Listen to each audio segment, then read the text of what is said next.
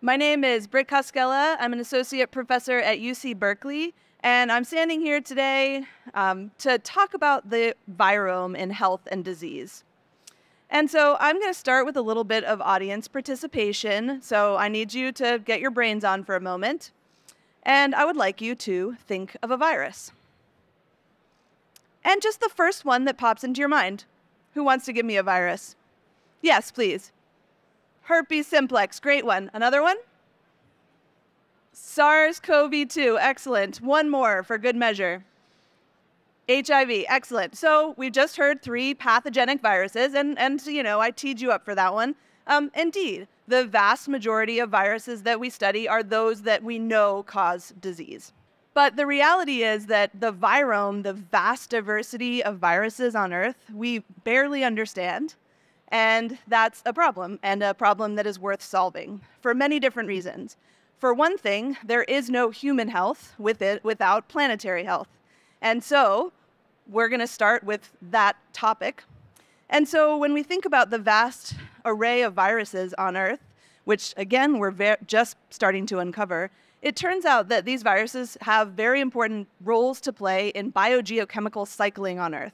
So this is work from Matt Sullivan and Ahmed Zeid. It's just an example of a project where that they've been doing for many, many years as part of a huge team, traveling the oceans, sampling viruses, sequencing them, and discovering more and more novel viruses every day.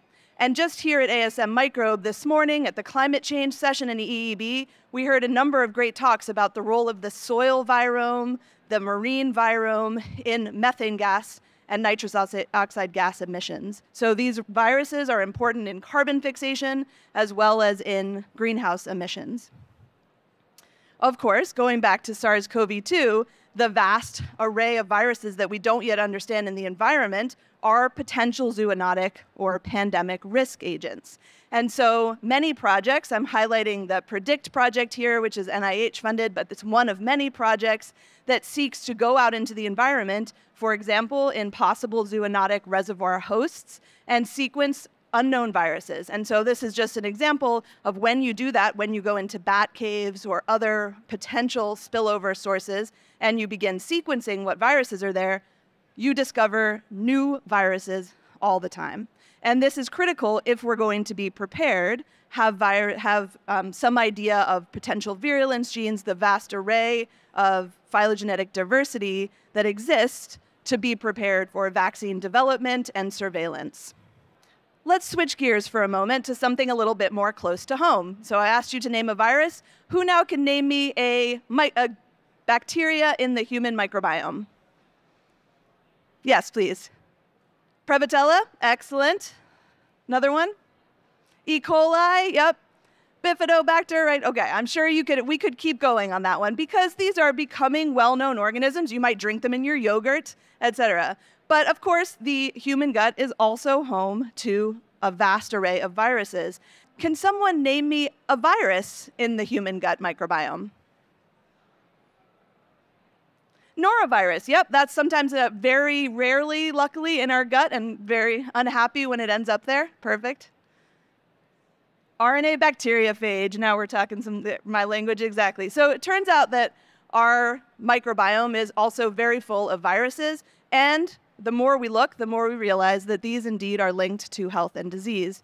So a few years ago, NIH launched a program that's parallel to the Human Microbiome Project, but this is the Human Virome Project, to begin uncovering the diversity of viruses that live in and on us, okay?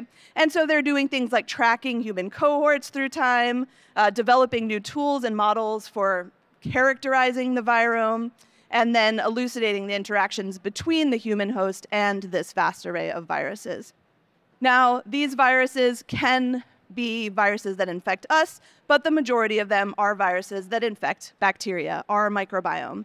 Sometimes as lytic and killing agents of bacteria in the gut, and other times as so called prophages or temperate phage that can carry important virulence genes as well as antibiotic resistance, but also just important functions that shape microbiome composition over time.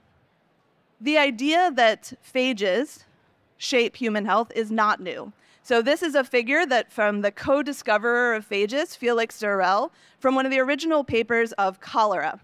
And what you're looking at here is a, a graph that he made of cholera bacteria causing disease in patients, and he took them out of the stool sample. So he was tracking abundances of cholera bacteria and the abundance of bacteriophages or choleraphages infecting those bacteria.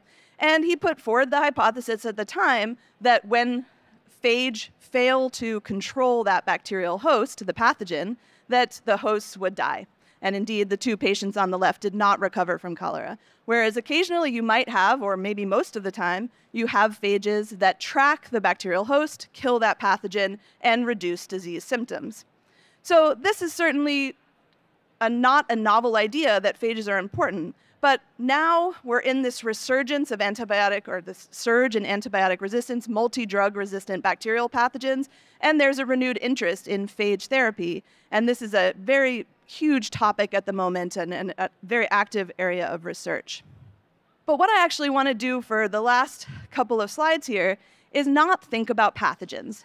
I want to tell you about all of the different ways that the viruses in the gut might change human health.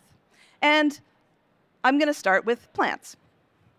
The reason I'm starting with plants is because that's the lab, the, the, model system that we use in my lab, and it's a nice experimental system for testing these principles, for doing experiments and asking how phages might change health and disease. And so this here is work uh, run by uh, Rina Debray, who was a graduate student in the time and is now at Max Planck Institute as a junior lead leader, and Asa Conover, who's a graduate student in my group. And what Rena and Asa did is that the most recent, if you'd like it, I put the, um, the QR code here, the most recent work that we've done in this line of evidence, where we take a microbiome, in this case, it happens to be from a tomato growing outside in, in a field, and we size separate that microbiome into the viral fraction or the bacterial fraction. And then we inoculate plants with either the bacterial fraction alone, we call it phage depleted, right? It has less bacteriophage. Or we recombine that bacterial microbiome with the phages with, it, with which it was naturally occurring. In this case, what we did is we inoculated plants with that, that consortia, or the phage alone, I should add. And then, after the microbiome had established for a few days, we challenged those plant hosts with a known plant pathogen, in this case, a bacterial pathogen, Pseudomonas syringae. And what I hope you can see here is that on the left in purple, we have the Pseudomonas syringae pathogen by itself. And you're looking at how much disease happened over the course of us monitoring these plants. And it causes disease. When we add just the bacterial microbiome, you see that disease is slightly reduced, but not much. But when you recombine the phage and the microbiome together, then we see clear disease protection. And that disease protection was not direct killing of the phage, uh, of the pathogen, sorry, by the phage, because the phage treatment alone does not confer this. And in fact, we've also looked for plaquing and, and ability to kill the, the pathogen. And so this is building on a line of evidence that phages are critical to bacterial microbiome homeostasis. And indeed, we and others have showed that phages are critical to maintaining microbiome diversity and how many species there are. And the reason it does the, the, the, phages can do this is something that we call kill the winner or negative frequency dependent selection. And it's an idea that's been around in evolutionary biology for a long time. It's simply that phages are mediators of diversity. And in this particular case, we mean that phages adapt to any bacteria that is overgrowing, becoming too dominant, too competitive in a microbiome. And by specifically killing those bacteria, making space for more rare bacterial types. And that when you maintain bacterial diversity, as phages are doing all the time, that that can in, in, um, impart important functions like disease resistance in this case. Now, just to end on a non-plant note, uh, with, in collaboration uh, with Rachel Wheatley, who's just started her own research group um, in, um, in England, and then Dominique Holte-Pelz, who's a postdoc in my lab at the moment. Um, we surveyed the existing literature of microbiomes that had been studied for both virome and microbiome diversity in published literature. And we screened specifically for papers that looked at a dysbiotic system. And by that, I simply mean a system that had been perturbed, and allowed, we allowed the authors to determine what that was. And it ranged from HIV infection, SARS CoV 2 infection, Crohn's disease, um, obesity, etc. So we, we lumped all of these dysbioses together to ask a very simple question, which is can phages be a signature of a microbiome dysbiosis?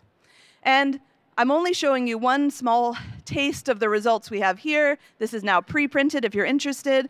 But the takeaway was that sometimes you actually have significant loss of viruses in dysbiosis. Sometimes you have more phage than you might expect. But something I'm not showing you here that was the key signature was that in dysbiosis, the natural relationship, the positive correlation between bacterial diversity and phage diversity broke down. And so take this as you want. You could, we have, of course, in this case, not shown causation. These are all correlative observational studies, but I previously showed you an experiment where we directly manipulated this. I think all of the evidence is coming together to say a few different things. One of them is that the virome is worth our time and effort to characterize and study partially because it plays a role in health and disease and likely a very causative role in microbiome homeostasis and diversity maintenance. But also, these viromes might be important and potentially cheap signatures of diseases and dysbioses that we're interested in monitoring. And so, as sequencing costs continue to come down and we learn more about this dark matter of viruses in the human gut and on Earth, we'll have the ability to quickly detect when things go wrong.